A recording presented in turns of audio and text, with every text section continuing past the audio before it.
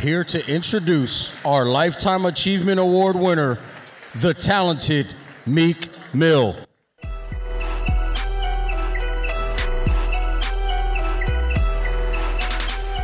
I want to say hi, everybody doing tonight. Shout out to Robert. Uh, you know, uh, it's not too much I could say that that video didn't say just now. They said a lot of things I wanted to say about uh, Robert, what I observed myself.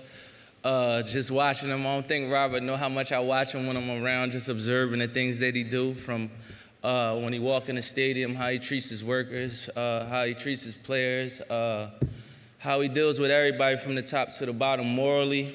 Uh, me personally, my special connection to Robert, not to make it about myself because the night is about him, but through my trials and tribulations of being caught up in the system, uh, me and Michael Rubin was always friends for the last seven, eight years, but we took a plane ride with Robert, and you know, uh, I didn't bring up my situation, but I asked Robert a lot of questions about success, about wealth, about everything he goes through in his life. It was my first time meeting him, someone I've always been a fan of. And you know, a few weeks later, I got arrested, and uh, Mike called Robert, and you know, he asked Robert to come see me in prison, which I thought was a very long shot. And one day I woke up, uh, Michael Rubin and Robert Kraft was at the prison, and you know, uh, shout out to Desiree in the building. Desiree, someone I called every day I was in prison, to um, you know, uh, help me with my lawyers and get a sense of how I could get out of this situation. But when Robert walked into the prison, you know, he asked me why I was smiling. And, you know, I told Robert, uh, this might sound a little bit crazy, but, you know, I've been through that situation so many times that that was kind of normal to me.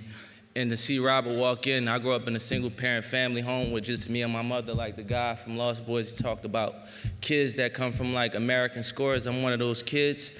And, you know, to see Robert Kraft, someone of his stature, someone with so much going on in his life to step in that prison and you know support me at that time that meant a lot to me and you know robert you know he was messed up in the head that i could actually have a smile on my face in that situation and through that situation uh, we talked a lot on that visit he, he wanted to know about my morals and what would I do when I get out of a situation like this? I told him everything about myself and how I would try to be, try to move forward. When I came home, uh, me, Michael Rubin, myself, Jay Z, Desiree, we came up with uh, Reform Alliance, uh, which targets social social injustices, and you know we changed laws and focused on probation and uh, parole violations, which actually affected my life and my family's lives. Uh, Robert was quick to sign up. Uh, everything I ever asked Robert about my community, it could be the smallest thing from a Christmas giveaway to that plane you see, him sending that plane to uh, my neighborhood for kids who actually came up like myself without valuing that self, coming up in a bad environment.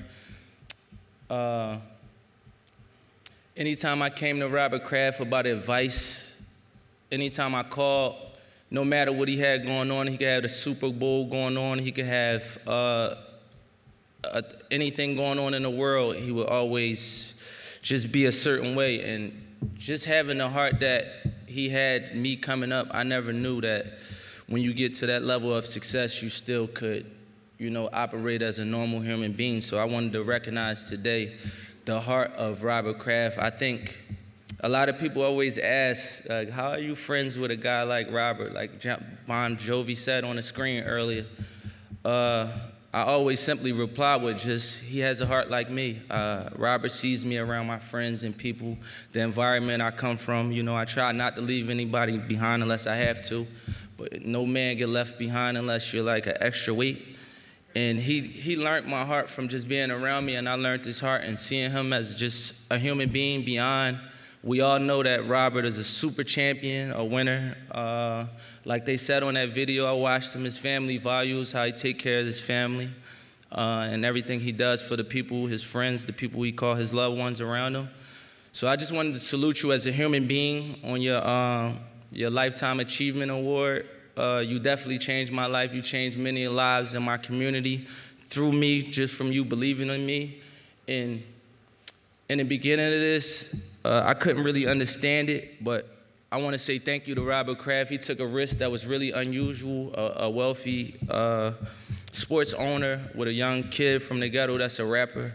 You actually gave me the motivation and the inspiration to continue reform and, and go harder for my own people uh, that come up behind me who don't have a voice. So, you know, I want to say shout out to Robert Kraft and thank you for being the man you are, just a good person.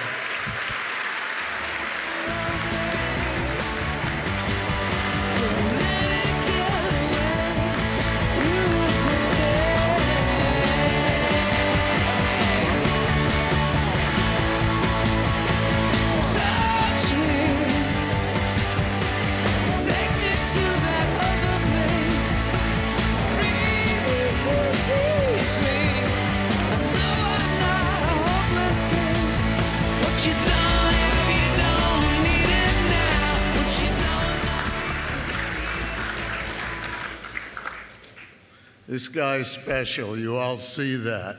And he's going to do huge things and, and help America in a way today that our folks in Washington aren't doing as well as they should.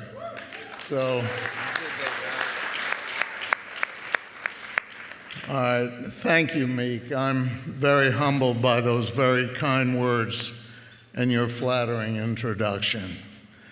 You know, Meek's story, as you heard, is amazing. And it's one that I was only peripherally aware of five years ago. But when he invited me to visit him in jail, I learned so much more about him. The context of his personal situation gave me a different perspective as to some of the systemic social ills that unfortunately still exist in our country. While I couldn't relate to many of the obstacles he's overcome in his life, I did empathize with him. And you can see, like, people say to me all the time, How, how do you connect with Meek Mill? you know, are you really friends? Be careful. This guy is effing awesome. So. And it's a good lesson for all of us to take, because I try to take the time to listen and learn. And this special friendship grew up over that time, over the last few years. I also want to thank Abe Makdor, Makor, Madkour and his staff at SBJ for selecting me as this year's recipient of their Lifetime Achievement Award. I think back as a young boy selling papers outside of Braves Field, and I dreamt about one day being in the business of professional sports. So to be here tonight receiving this honor from the ultimate authority in the sports industry is something I never would have imagined as a young man. I'm beyond flattered to be able to join such a special list of people, and I thank you, Abe. My opportunity for ownership in the NFL and MLS didn't come until my 50s, but my education in sports ownership came when I was only in my 30s and I owned a team called the Boston Lobsters in World Team Tennis. Lobsters. that experience taught me how to negotiate with agents communicate with star players and coaches, and the importance of controlling your own venue. The league was founded by Billie Jean King, who you saw spoke tonight, another Lifetime Achievement Award honoree, and a very dear friend. It also gave me the experience, conviction, and confidence to pursue my dream of buying the Patriots which I finally did 20 years later after World Team Tennis. I feel so fortunate to be part of the sports industry. And as I reflected on my remarks for this evening, I wanted to take the time to highlight the four elements that I believe make this industry of sports truly unique. Th those elements are the fans, the competition, the partnership, and the platform that sports provides. The first and most powerful is the fans. Fans are awesome. There's no other industry in which your customers are as passionate and engaged as they are in sports. For many, it's a lifelong obsession. They provide the motivation to excel for those of us who work, coach, and play in the industry. I was a fan and season ticket holder of each Boston sports team before I bought the Patriots. That perspective is something I draw on regularly when making decisions regarding how we conduct our business. I love and welcome the accountability that comes from owning the team in my hometown. To this day, the interaction with the fans of our teams is the most energizing and challenging, yet rewarding part of being in this business. The second thing that makes the sports industry unique is the competition. There is competition in all businesses, but sports is the only business where the competition itself is the product. Having a front row seat to understand all that goes into building a team, observing the preparation of each opponent, and watching the greatest athletes in the world contribute individually to a team effort on a weekly basis is such a huge privilege. The unpredictability of every play and every game creates a roller coaster of emotion that just doesn't exist in any other industry. The third element is that your competitors are also your business partners. The same people you want to annihilate on the field of play are critically important to forming working relationships to grow and strengthen the business long term. It really is a unique dynamic and one that I didn't fully appreciate until I attended my first league meeting. At that meeting, I watched and listened to owners of franchises who were bitter rivals, yet they participated in committees together, sharing ideas, strategies, and debating what was best for the game and the business. But the most important thing that differentiates this industry is the platform it gives you to impact your community and champion for causes you are passionate about, like the young men and women that came in here tonight and spoke about so beautifully. Because the visibility and popularity of sports is powerful. And that power can be used to do so much good on so many different levels.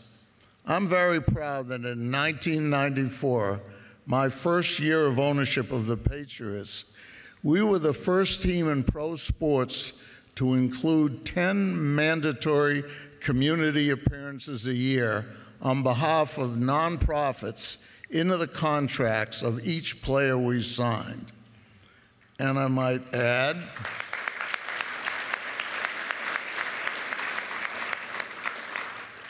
much to the disdain of my head coach at that time. I heard about it in many ways that it would be inappropriate to talk about here. But one thing I'm very proud of, I might add that this clause has been included in every contract since 1994, right to this day. Thank you.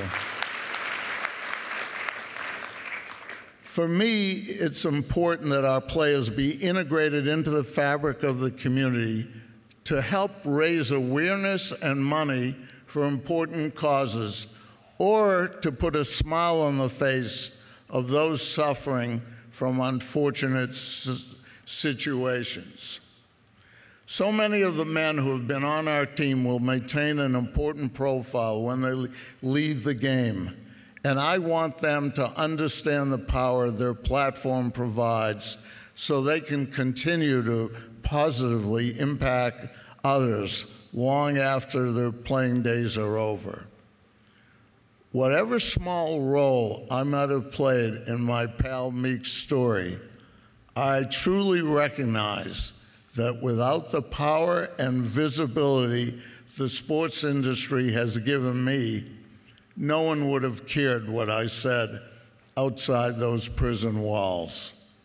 That carries a lot of responsibility and is such an honor to use to make a positive impact. There are a lot of young people in this room tonight who are part of this great industry. Please understand how special it is and take full advantage of it, all it has to offer, especially the platform to impact the lives of others. And you always got to be on your best behavior, just as an aside. So, on behalf of Jonathan, Danny, Dana, and my entire family, I want to thank you so much once again for this honor.